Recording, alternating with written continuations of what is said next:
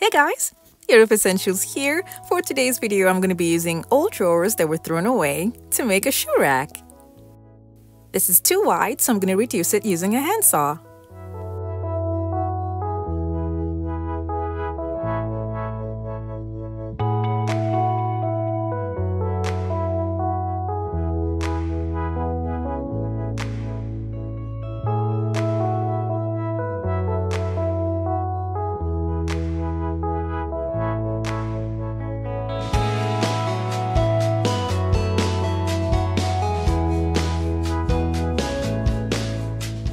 This is where I'm going to be cutting, and I'll do the same thing to the other drawer.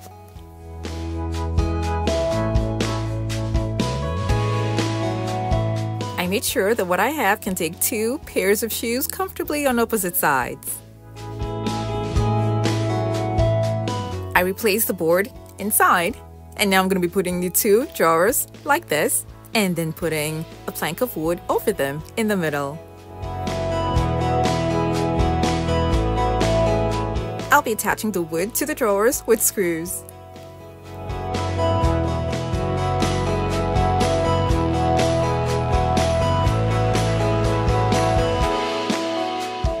In the middle, I'm going to make four partitions where I'm going to be adding wood to it. And then I made the middle part to make it easy for me to attach the wood that I'm going to be putting in the middle to the one that's at the back using wood glue and screws.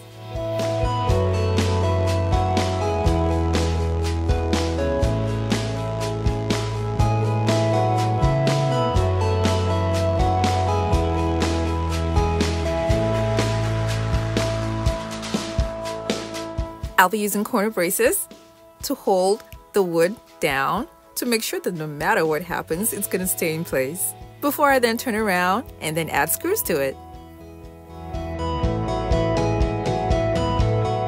Now that I have all four planks attached, I'm going to have one wood that's going to be on top. And it's going to meet the top and the bottom of the two drawers that I have there. And this will keep it strong and sturdy. I made sure that I use wood that's thick enough to make screws go through it.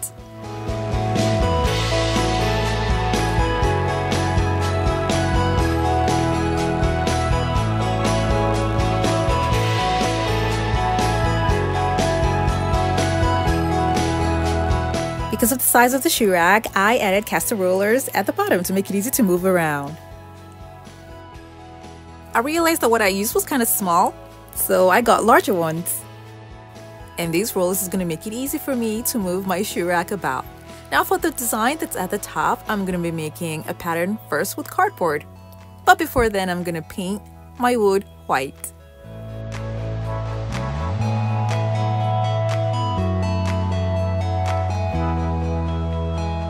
This is the paint that I got from Walmart that I'll be using and it says it has an excellent hide, spatter resistant, and it minimizes surface imperfections, which is perfect for the kind of wood that I chose for my shoe rack. Now I'm going to be drawing out the pattern that I want in front of the shoe rack.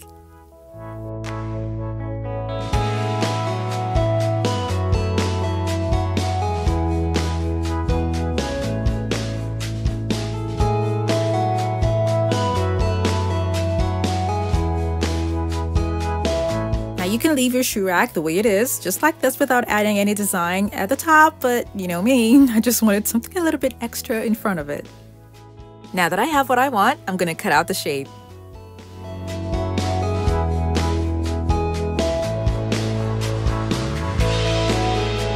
Now this is already big as it is, so I wanted to end here, but then this opening here that's on the drawer, I'm going to be covering that up with mirror reflective paper and the link for this mirror reflective paper will be in the description box below.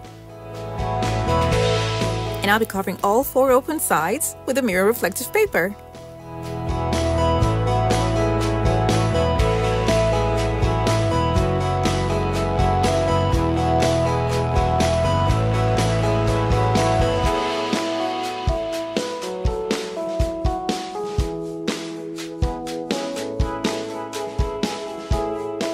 I will trace out the shape that I have on the cardboard on a 1 inch foam.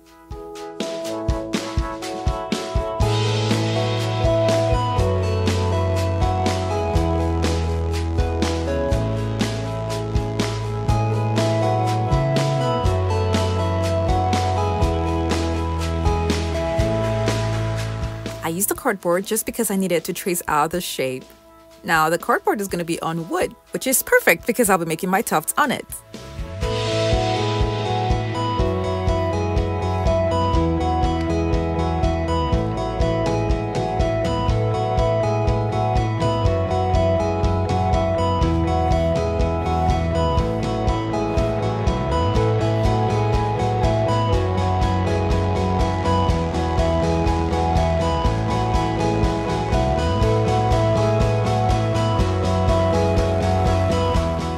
I'll be making marks for the tufting starting from here and I'll do it on this wood here and this other wood that's on this side here and then make extra points at the top.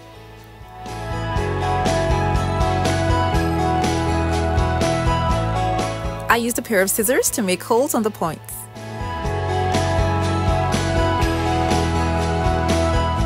I then cover the foam with batting.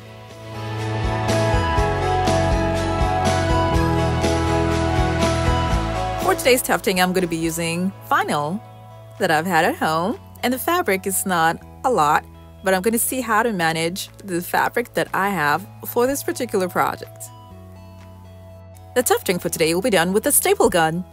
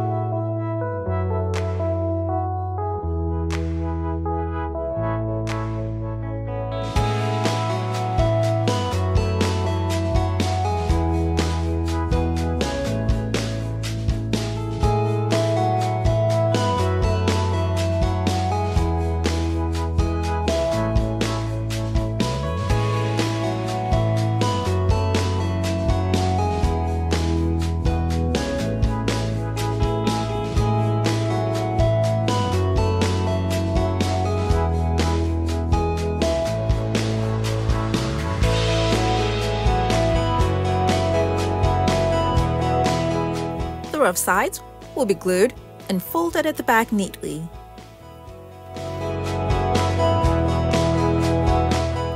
And the rough sides that I have on the wood is going to be trimmed off neatly. I'm going to cover that up much later though. Now for the middle, I'm going to be attaching a Walmart mirror. I'll be drilling holes and then using screws to attach the mirror to the wood. Now remember, you're going to be doing this on the frame, on the frame, on the frame, because you don't want to break the mirror.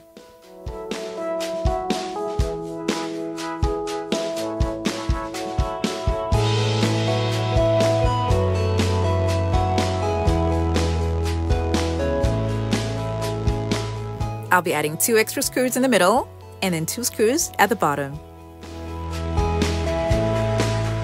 The base that was on the drawer was not strong enough, so I replaced it with stronger wood.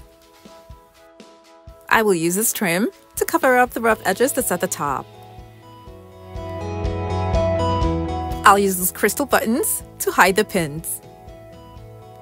I'll be using mirror mosaic tiles and the link for this is going to be in the description box below and this is going to be used to hide the rough sides that we have here that's on the wood. And I'll be using these mirrors to decorate the partitions.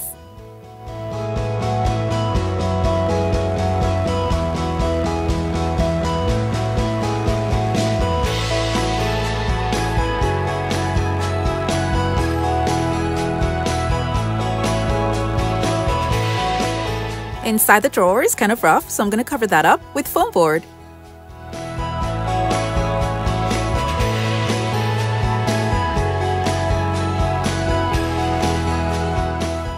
I want to make good use of what I have down here, so instead of using it for just storage alone, I'm going to have to put a board on top of it.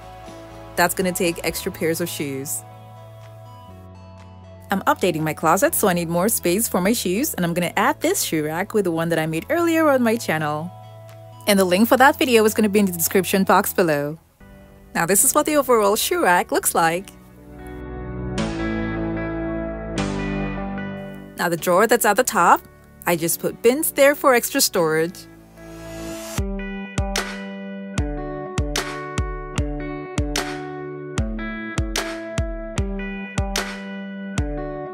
This is stylish and unique, and it's perfect for small spaces.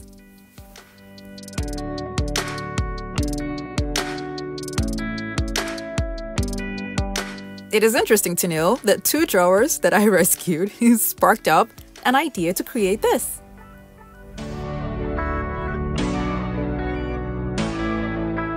I really love how there's extra storage at the top and at the bottom with shoes in between. This was a really fun project for me and I hope you guys enjoy this video. Now don't forget to like it and share it with your friends and families as well. Thank you all so much for watching. Now I have other home decor DIY videos that are linked in the description box below to check them out and don't forget to click on the subscribe button.